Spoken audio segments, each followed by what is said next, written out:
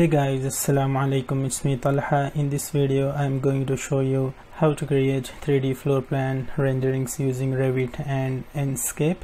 Before I get started, I would like to let you know about my website learnrevitonline.com where you can get my Revit interior courses. You can follow the link in the description. Now let's get started so here I'm in Revit and as you can see I have already opened this project. I actually recorded the whole workflow of this project which I'm going to be uploading soon.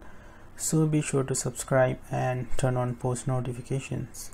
Anyway I'm going to reduce the height of these walls because uh, I want to create the camera from this angle. So let's do that. Let's select all of these walls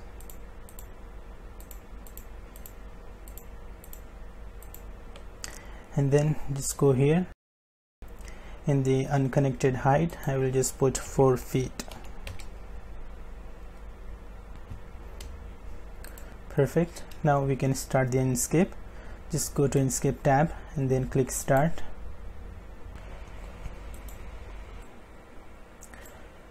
So the Enscape is now started. And the reason why it's looking like this is because of the settings I made earlier. So let's reset uh, all the previous settings. Just go back to Revit click visual settings go to presets and uh, here we have reset to default. Just click and click yes and let's go back to Enscape there you go. It's looking way better now.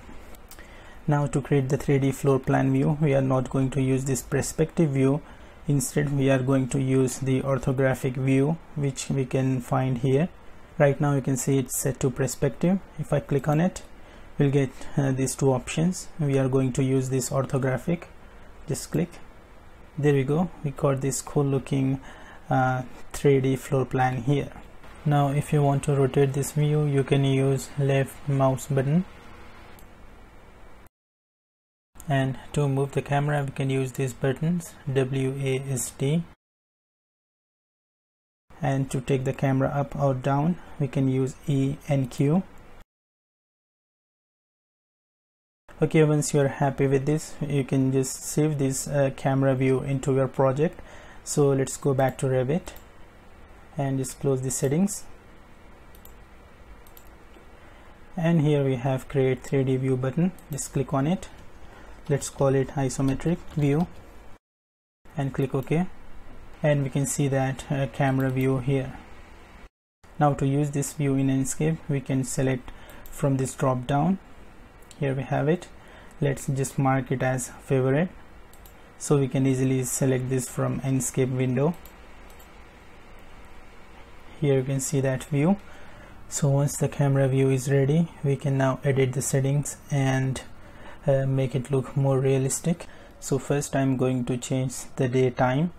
So for that uh, you can just hold U or I key on your keyboard. So I'm going to hold U key. You can see the time changing here. So I want to bring the sunlight from here. So I will just hold I key.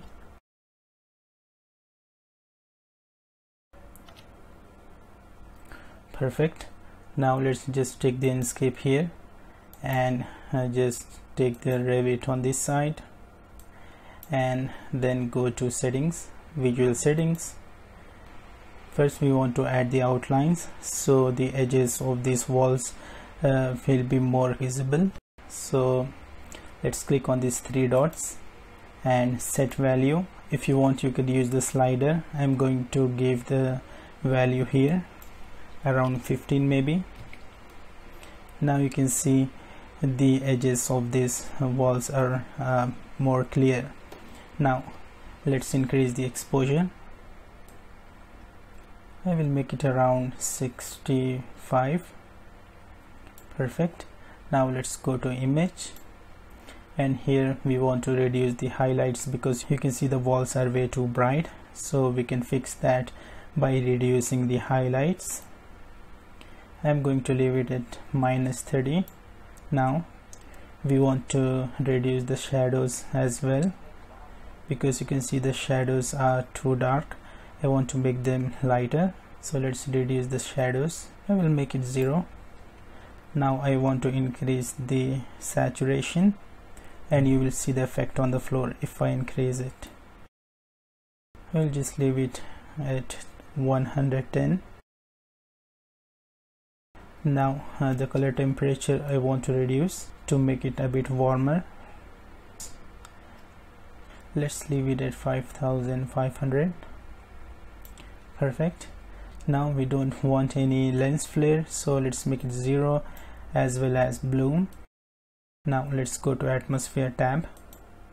And then uh, we want to increase the sun brightness. Perfect. Now I want to reduce the saturation a bit let's make it 107 now go back to atmosphere and we want to reduce the shadow sharpness as well.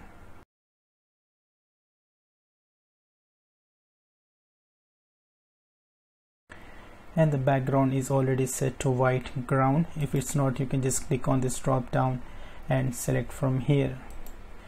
And we don't need to do any changes here for this uh, 3d floor plan rendering.